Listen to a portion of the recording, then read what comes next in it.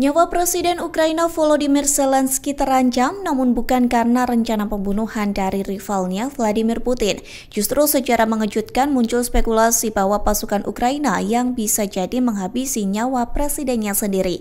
Hal itu disampaikan oleh pensiunan analisis CIA Larry Johnson yang mengatakan kegagalan di medan perang dapat mendorong militer Ukraina bergerak melawan Zelensky. Johnson menyebut kemungkinan Zelensky akan digulingkan melalui kudeta militer dalam 3 hingga 4 minggu ke depan. Kondisi ini karena ketidakpuasan yang besar di antara pasukan di front timur. Jika melihat perkembangan konflik, Johnson mengatakan kelangsungan hidup Ukraina sebagai sebuah negara sangat diragukan. Pasalnya Kiev sudah sepenuhnya ketergantungan pada barat, sementara kebutuhan negara tersebut akan terus bertambah namun kemampuannya justru menyusut. Sementara Johnson bukanlah analisis Amerika pertama yang berspekulasi mengenai keterlibatan militer terhadap Zelensky.